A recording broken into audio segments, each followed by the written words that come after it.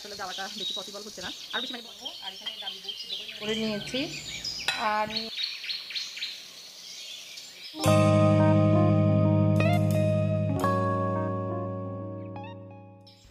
বিসমিল্লাহ রহমান রহিম আসসালামু আলাইকুম।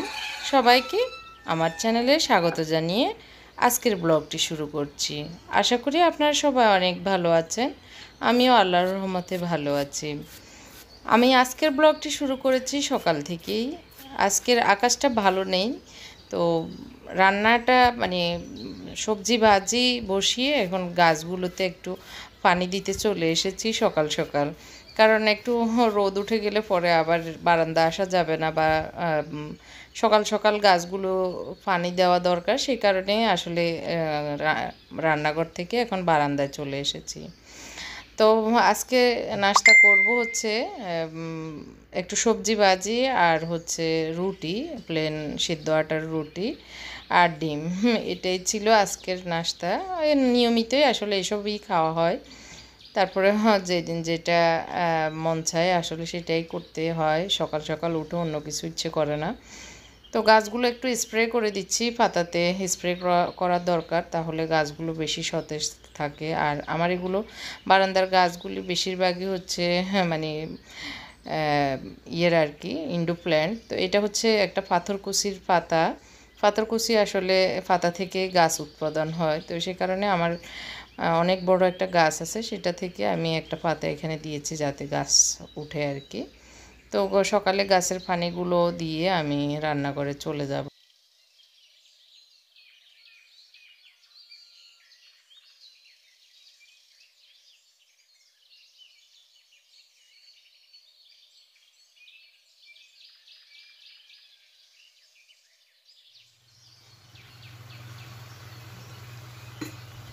এই তো সবজি ভাজিটা এই পর্যায়ে এসেছে। এখানে বরবটি, কাঁকরোল আর পটল, আলু। তো ভাজিগুলো হ্যাঁ এইভাবে কুটে আমি তেলে পেঁয়াজ, কাঁচামরিচ আর হচ্ছে লবণ দিয়ে বসিয়ে গেছি। তো একটু নাড়াচাড়া দিয়ে এগুলো ডাকনা দিয়ে দিব। তো রুটিও বানিয়ে নিয়েছি। রুটিগুলো একটু পরে চেকে নেব।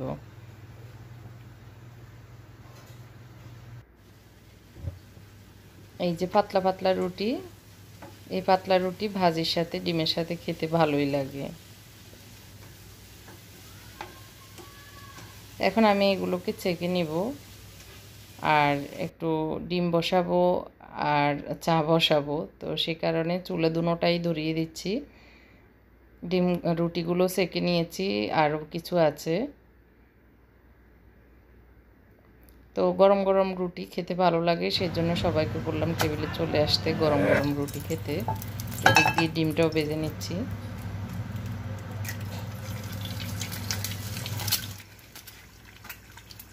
আর আমরা যেহেতু সকাল বা দুপুর, বিকেল সবসময় ডিম খাই, সেক্ষেত্রে অবশ্যই একটু এই যে কালো জিরা দিয়ে খেলে, এমনিতেও কালো জিরা যত কথাই বলি আমরা খেতে পারি না, খাই না, খাওয়া হয় না। তো ডিম যেহেতু খাই, ডিমের সাথে এই কালো জিরাটা ছিটিয়ে একটু দিয়ে বা পেঁয়াজ, টমেটো, কাঁচামরিচের সাথে আধা চামচ, এক চামচ মানে কালো জিরা পাউডার দিয়ে দিলে কিন্তু খাওয়া হয়, শরীরের জন্য ভালো, অ্যান্টিবডি তৈরি হয়।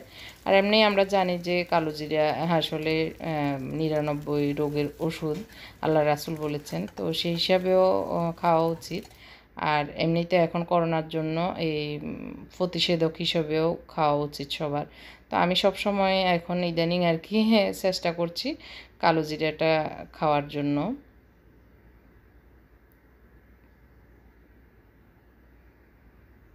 তাই তো মোত্তাকিও খেয়ে নিয়েছে, আমরা সবাই একসাথে খেয়ে এখন একটা রেসিপি দেখাবো। সেটা হচ্ছে সুজির বরফি। তো একটুখানি আনকমন আশা করি আপনাদের ভালো লাগবে। আপনারাও সকাল বিকেল নাস্তায় বাচ্চাদেরকে খাওয়াতে পারেন করে। তো আমি এক কাপ সুজি নিয়েছি আর এই কাপ মেজারমেন্ট কাপগুলো আমি অনলাইন থেকে নিয়েছি। তো অনেক আপুরা জিজ্ঞেস করেছেন অনলাইন কোন অনলাইন থেকে নিয়েছেন? তো আমি এই যে লিঙ্কটা ছবিতে দিয়ে দিচ্ছি, আপনারা দেখে নিতে পারেন। তো এখানে আমি এক কাপ সুজির সাথে আধা কাপ চিনি দিয়েছি। আধা কাপ থেকে একটু কম দিয়েছি। আর দিয়ে দিচ্ছি বেকিং সোডা তো অনেকেই বলেন বেকিং পাউডার না বেকিং সোডা বেকিং সোডা আলাদা আর বেকিং পাউডার আলাদা। তো এটা বেকিং সোডা আমি আধা চামচের মতো দিচ্ছি, একটুখানি লবণ দিচ্ছি। তো সব কিছুকে একসাথে মিক্স করে নিচ্ছি। ভালো করে মিক্স করে আমি হ্যাঁ একটু একটু করে দুধ দিয়ে দিচ্ছি। এক কাপের মতো দুধ লাগবে। তো প্রথমে অল্প অল্প করে মিশিয়ে নিব। দুধ না থাকলে আপনি পানি দিয়েও করতে পারবেন অসুবিধা নেই। আর যদি স্বাদ বাড়াতে চান তাহলে পাউডার দুধ থাকলে পাউডার দুধকে গুলেও করতে পারবেন। মানে লিকুইড দুধ দিয়ে করলে স্বাদটা একটু বাড়বে এটা আর কি। তো আমি একটু একটু করে দিয়ে এখানে আধা এক কাপের মতো লেগেছে। দিয়ে আমি এভাবে সবগুলোকে মিশিয়ে এখন ফ্লেন করে এটাকে মিলে, মেলে রেখে আমি আধা ঘণ্টার মতো বা বিশ মিনিটের মতো রেখে দিব। ঢাকনা দিয়ে। তো এখন আমি ঢাকনা দিয়ে রেখে দিচ্ছি।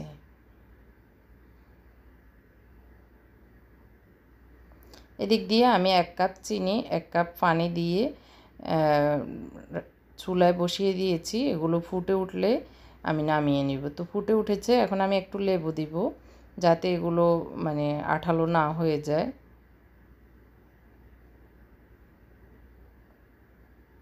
লেবুটা দিয়ে আমি এখন চুলাটা অফ করে দিচ্ছি।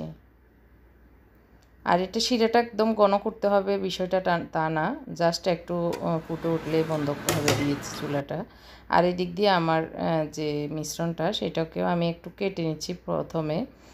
জাস্ট একটু বাদাম দিব উপরে, সেটার মেজারমেন্টের জন্য। যে যেভাবে আসলে কেটে সৌন্দর্য ভাড়াবে সে তার তার পছন্দ মতো। আমি এই বলে ইলেকট্রিক ওভেনে দিয়ে দিব বিশ মিনিটের জন্য দুশো ডিগ্রি সেলসিয়াসে আর কি আর উপরে নিচের হিটটা দিয়ে দিব। তো আমি একটা একটা করে অ্যালমন্ড বাদাম দিয়ে এখন আমি ওভেনে দিয়ে দিচ্ছি। এদিক দিয়ে আমরা নাস্তা খাওয়ার পরে চাটাও খেয়ে নিচ্ছি। ওইটাকে আমি ওভেনে দিয়ে এখন আমি এই যে আমার ডাইনিংয়ের পরে যে কমন স্পেস, সেটার শোকেসটা বাম দিকে আর এখানে আমরা নামাজের জন্য রমজানে এভাবে করেছিলাম। তো এখন একটু ঘুরিয়ে নিব, শোকেসটাকে এই জায়গাটাতে নিয়ে আসব বুক সেলফের এই জায়গায়। তো বুক সেলফটাকে শোকেসের জায়গায় নিয়ে যাব, তো এই কাজটা এখন করব। করে নিয়েছি আর ওইটা করতে দেখায়নি এই যে, এই সাইডটাতে এখন বুক সেলফগুলো নিয়ে এসেছি আর শোকেসটা এইভাবে নিয়ে এসেছি এই জায়গায়। তো শোকেসের এই যে কাছের জিনিসগুলো সেগুলো আমি নামিয়ে ধুবো এবং তাকগুলোকেও মুছবো, এই বড় কাজটা করব। তো আগে সব কাজ শেষ করে মানে রান্না করে তারপরে ওগুলো ধরবো। তো সেগুলো আজকে আর দেখাবো না, আগামী ব্লগে ইনশাল্লাহ দেখাবো কি কি করেছি। তো এদিক দিয়ে আমার সুজির বরফিটাও হয়েছে। তো সেটাকে আমি এনে এখন একদম গরম, এখন টাটকা আমি মাত্র ওভেন থেকে বের করে এনেছি। তো একটু সাইজ মতো কেটে আমি এখন যে শিরাটা করে রেখেছি, সেটা রুম টেম্পারেচারে চলে এসেছে। এখন আমি শিরাটা ঢেলে দিয়ে এটাকে একদম গরম গরম ঢেলে দিচ্ছি মানে হ্যাঁ বরফিটার। তো এটার উপরে দিয়ে দিচ্ছি যাতে অবজার্ভ করে শিরাটা নিয়ে নেয়। আর আমি ঢাকনা দিয়ে দিব কেটে। এখন একটু মুড়মুড়ে, কিন্তু শিরা দেওয়ার পরেই কিন্তু এটা সফট হয়ে, নরম হয়ে যাবে একদম মিষ্টির মতো। আর খেতেও খুব ভালো লাগে। আমি ডাকনা দিয়ে দশ পনেরো মিনিট পরে এখন উঠিয়ে দেখাচ্ছি। কারণ ডাকনা দিয়ে রাখার পরে এটা একদম সফট হয়ে যায়।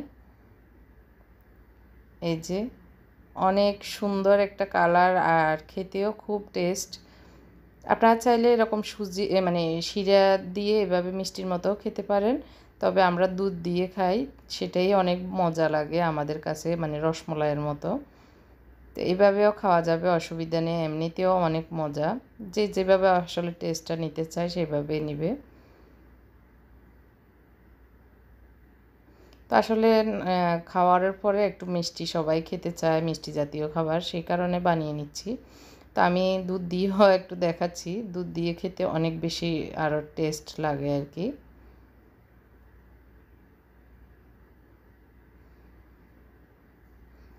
দুধটা যখন এটার ভিতরে ঢুকে তখন স্বাদটা আরও বেশি হয় আর কি তো আমি একটু দেখাচ্ছি।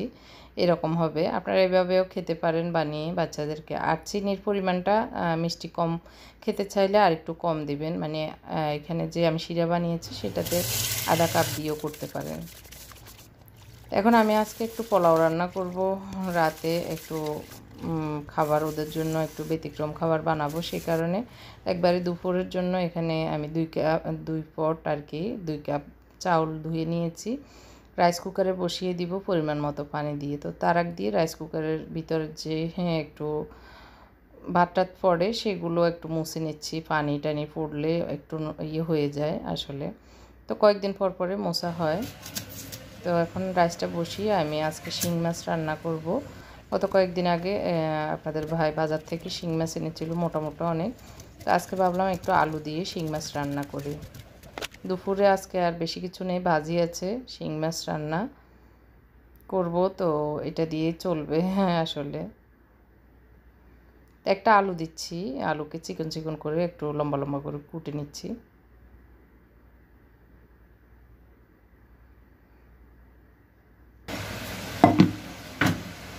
আমি যেভাবে শিং মাছ রান্না করি সহজে, সেটা আপনাদের সাথে শেয়ার করছি। তো এক একজনের রান্নার ধরন এক এক রকম হবেই, আর এটাই স্বাভাবিক। তো আমি এভাবে রান্না করি, আমার কাছে অনেক ভালো লাগে।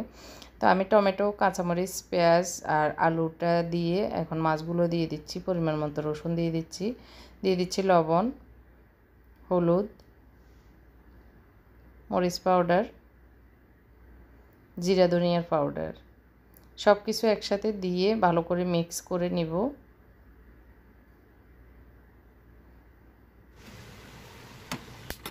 তো দিয়ে দিয়েছি, আমি এখানে সরিষার তেলও, তো সরিষার তেলটা আসলে দেখানো হয়নি। এখন আমি বসিয়ে দিচ্ছি, এগুলো একটু কষানো হলে তারপর পানি দিব।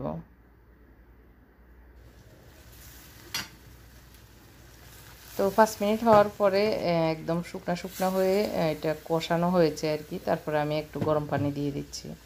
তো গরম পানি দিয়ে এগুলোকে আরেকটু কষিয়ে নিয়ে আরেকটু, আরেকবার আমি এক কাপ, দেড় কাপের মতো পানি দিয়ে রান্না করে নিচ্ছি। অনেকক্ষণ রান্না করে নিলে এগুলো শিং মাছের মানে স্বাদটা বের হয়। তো রান্না করার পরে আমি এই যে এখন খেতে যাব, তো খিদেও লেগেছে এই কারণে খেতে বসছি। আমি একাই। আপনাদের ভাই অফিসে গেছে, নাস্তা করেই। তো একটু সালাদ আর পোলাও আর শিং মাছ ভালোই লেগেছে। আজকে আসলে একটি যে আমার বোরকার ভিডিও করতে গিয়ে একটু বোরকা পরেছি। অনেক দিন পর বোরকা পরে আসলে এমনটি মনে হয়েছে, মনে হচ্ছে আমি কোথাও যাচ্ছি। খুব মানে অন্যরকম লাগল আসলে। তো আসলে কোথাও বের হতে পারতেছি না, এমন অবস্থা। আবার আমার বাসুর আমাদের অসুস্থতার কারণে কোথাও আসলে যাওয়াটা বেশি পসিবল হচ্ছে না। আরও বেশি মানে ভয় পেয়েছি আর কি। তো আমার হাজব্যান্ডও বেশি একটা যাচ্ছে না, বের হচ্ছে না। ইদানিং আসলে একটু বের হতে হচ্ছে গত তিন চার দিন থেকে আর কি। একটু একটু বের হচ্ছে অফিসে কিছু কাজ স্টাফদের সাথে না করলে নয়। কারণ উনি যেহেতু এমডি তো ওনাকে ছাড়া তো হচ্ছে না। যেগুলি ফোনে ফোনে করা যাচ্ছে, সেগুলি করে নিচ্ছে। আর যেগুলি এখন আর সম্ভব নয়, সেগুলি করতে যাচ্ছে। সব সতর্কতা অবলম্বন করে যাচ্ছে। বাকিটা আল্লাহর উপরে সেটে দিয়েছি আসলে, আর কিছুই করার নাই। আর, এমনি আমার বাসুরদের জন্য দুই, তিন দিন যেতে হয়েছে। তো আজকে আমার বাসুরের অবস্থানটা আগের মতোই। এখনও লাইফ সাপোর্টে আছে। গতকালকে একটু খুলে দিয়েছিল দুই ঘণ্টার জন্য, কিন্তু অবস্থাটা তেমন ভালো পজিশনে নেই। তো এই কারণে আবার দিয়ে রাখছে। ডাক্তাররা বলল, আর দুই দিন ওনারা পরীক্ষা করে দেখবেন তারপরে। আর হচ্ছে মেজো বাসর আল্লাহর মতে এখন সুস্থ আছেন। হয়তো আগামী দুই একদিনের ভিতর বাড়ি চলে যেতে হবে। চলে যাবেন আর কি, ফেরেশান হয়ে গেছেন। তো আর আজকে আসলে দুপুরে শিং মাছ দিয়ে পোলাও দিয়ে খেয়েছি, অনেক মজা লেগেছে। এখন আসরের নামাজ আসরের নামাজ এখন পড়ব, আজান দিয়েছে। তো এখন যাব, ওরা ফুচকা খাবে, ফুচকা বানাবো। তো কীভাবে আমি বানাই সেটা আপনাদের সাথে শেয়ার করছি। আর হচ্ছে গত কয়েকদিন যে ভিডিওগুলি গিয়েছে, অনেক কমেন্ট এসেছে, আসলে উত্তর দিতে পারতেছি না, অনেক দুঃখিত আসলে। কারণ এত বেশি ফেরেশানির ভিতরে আছি, আসলে মন চাচ্ছে না কিছু লেখার। আর সারাদিনই আসলে বৃষ্টি হচ্ছে, তো বৃষ্টি থাকলে মনটাও ভালো থাকে না আসলে। সারাদিনই কেমন কেমন লাগতেছে, কোনো কিছু করতেই হচ্ছে করতেছে না। তো, বৃষ্টি, মেঘলা আকাশ, একদমই মেঘ। যদিও বোঝা যাচ্ছে না এখনও।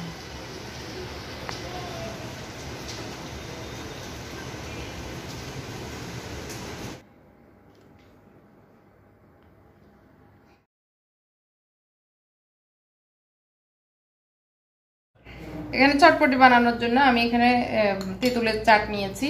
তো এটাকে আমি পানি দিয়ে একটু তরল করব। আর এখানে ডাবলি বুট সিদ্ধ করে নিয়েছি। আর নিয়েছি এখানে আলু, দুইটা আলু। দুইটা আলু নিয়েছি, এগুলোকে আমি এটা দিয়ে একটু চেপে এগুলোকে সফট করে নেব। তারপর নিয়েছি লবণ, নিয়েছি বিট লবণ, নিয়েছি চিলি ফ্লেক্স, আর দিব চিনি। এখানে নিয়েছি ধনিয়া পাতা শসা, কাঁচামরিচ, পেঁয়াজ। আর এখানে ধনিয়া এবং জিরা আমি টেলে নিয়েছি। আর নিয়েছি চটপটি মশলা। তো এগুলো দিয়ে আমি প্রথমে সসটা রেডি করব। সসটা রেডি করে তারপরে আমি ডাবলিগুলো রেডি করব। তো এখানে আমি একটু সসটা তরল করে নিই আর একটু পানি দিয়ে।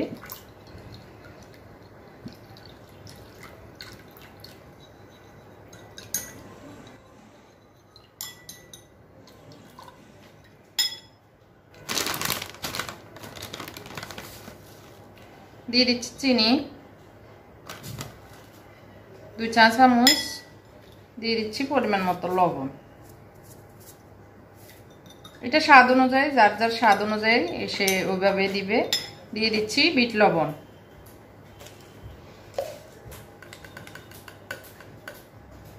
একটুখানি বিট লবণ। আর সিলিপ্লেক্স যেহেতু আমি চাট করেছি তেঁতুলের, তো সিলিপ্লেক্স আগে থেকে আছে, সেই কারণে আমি সিলিপ্লেক্সটা দিচ্ছি না।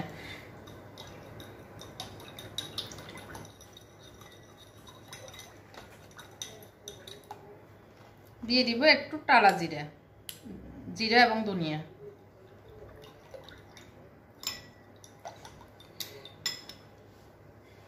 আর এখান থেকে আমি একটুখানি ডাবলিকে ভালো করে সফট করে একটুখানি ডাবলি দিয়ে দিচ্ছি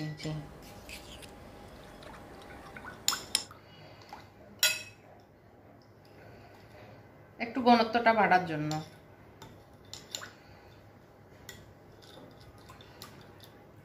তো আমি এটা রেডি করে নিয়েছি, এবারে আমি করব ডাবলিটা রেডি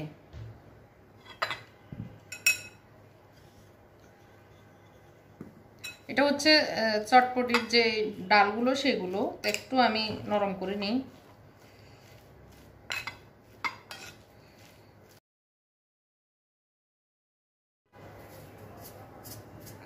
আমি বুট সিদ্ধ করতে লবণ দিইনি, এই কারণে আমি লবণটা এই পরিমাণে দিচ্ছি। দিয়ে দিচ্ছি বিট লবণ। দিয়ে দিব জিরা টালা এবং ধনিয়া টালা। এক টেবিল চামচ দিয়ে দিয়েছি। এখন দিয়ে দিচ্ছি আমি চটপটি মশলা। দুই টেবিল চামচের মতো আমি দিয়ে দিচ্ছি।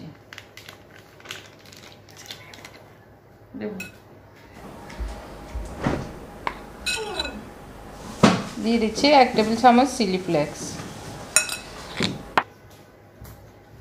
এখানে দিয়ে দিচ্ছি দিচ্ছি পেঁয়াজ শশা কুচি, ধনিয়া পাতা। এখানে আমি একটু সসেও ধনিয়া পাতা দিয়ে দিচ্ছি দেখতে সুন্দর লাগার জন্য।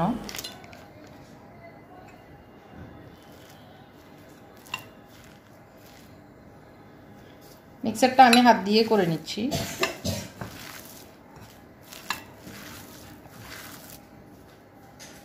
দিয়ে দিচ্ছি লেবু।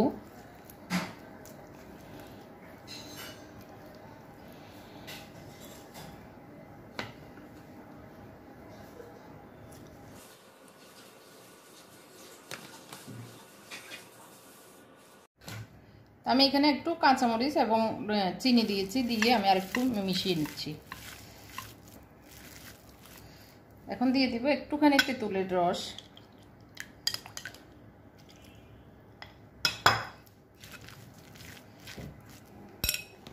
সম্পূর্ণ করা শেষ। এখন আমি ফুচকাগুলোকে একটু ঢুকিয়ে নিচ্ছি। ফুচকাগুলো আমার কেনা ঘরে আমি আরেকদিন করেছি রোজার ভিতরে, সেটা কীভাবে করেছি আমি সেই ভিডিওর লিঙ্কটা দিয়ে দিব, কীভাবে ঠোসাগুলো করা- করতে হয়। খুব সহজ, তারপর এখন বাজার থেকে আপনাদের ভাই বাজার গিয়েছিল, সে কারণে নিয়ে এসেছে।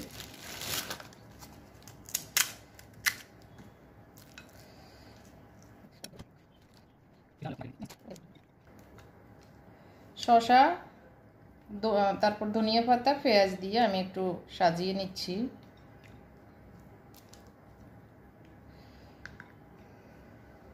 দিয়ে দিচ্ছি ডিম। তো এই তো আজকের ব্লগটি এখানে শেষ করব। কেমন লেগেছে আমার আজকের ব্লগটি কমেন্ট করে অবশ্যই জানাবেন। আর এখানে যে রেসিপিটি আপনাদের কাছে বেশি ভালো লেগেছে, সেটাও কমেন্ট করে জানাতে ভুলবেন না। সবাইকে অসংখ্য ধন্যবাদ জানিয়ে এখানে শেষ করছি। ভুল হলে মাফ করবেন। আল্লাহ হাফেজ।